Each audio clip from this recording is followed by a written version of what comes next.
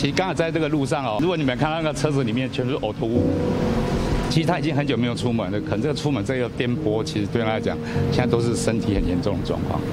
六十九岁陈英杰搭囚车入桃园女监，许常德扑他唯一心愿哭了。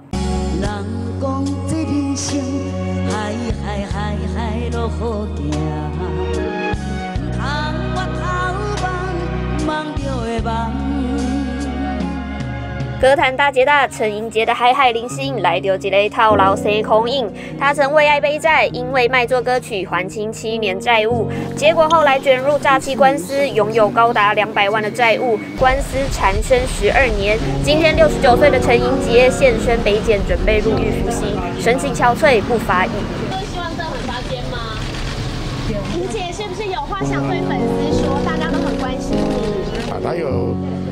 中度的阿斯海默症、高血压、糖尿病，他现在都没办法自行打理、自自己料理自己。法院给他机会去面对这个事情，如果有机会有生之年还可以赚到一点钱，第一笔钱一定会还给债债债务人啊，这是他的一个希望。其实刚好在这个路上哦，如果你们看那个车子里面全是呕吐物。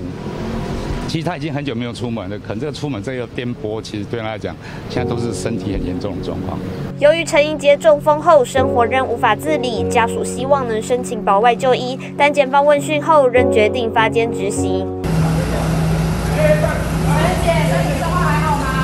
曾帮陈英杰写歌的音乐人许常德，在开庭期间出来帮忙买药，透露陈姐又吐了，连身份证字号都忘记，私下和陈姐聊天常规打枪，形同失智了，还要坐牢。希望大家好好记住陈姐的歌。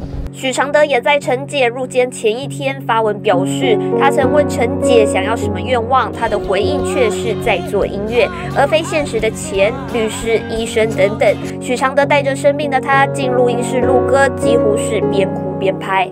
爱上一个人却要一直等等到路灯一路行到清晨爱上一个人却要一直恨恨我一生总是成全别人。